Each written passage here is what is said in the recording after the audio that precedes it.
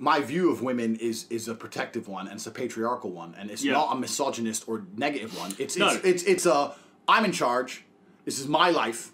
I'm the train on the tracks. You hmm. cannot you cannot divert me. You cannot tell me what to do. You cannot. It's not like a car that can take different things. A train's on a track and it goes in one fucking direction. You either get on the train or you don't. Yeah, You know that's, that's how it is. It's very Yeah. much like I'm doing this. You're doing this. I don't want to. Okay, bye. yeah, That's yeah, just how I am. Yeah, and, yeah, and, and and that's one because I had the ability to find replacements, and two because of the industry I was in. I Yes. wanted girls to do something they'd never done before, which is get naked on camera to pay me money. yeah. And if they were saying no, then I had to be like, okay, bye, because yeah. I uh, it was a business.